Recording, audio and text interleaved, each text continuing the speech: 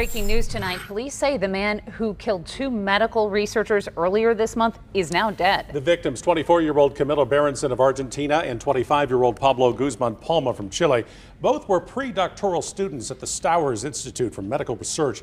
This month, their bodies were found in their apartment on Oak after firefighters put out a fire. Through ballistics and DNA testing, police detectives identified Kevin Ray Moore as a suspect, and two weeks later, Moore's body was found in the woods as part of a double uh, murder suicide investigation. Police found Moore's body and the body of a woman, Misty Brockman, across 435 from Worlds of Fun. No other details have been released.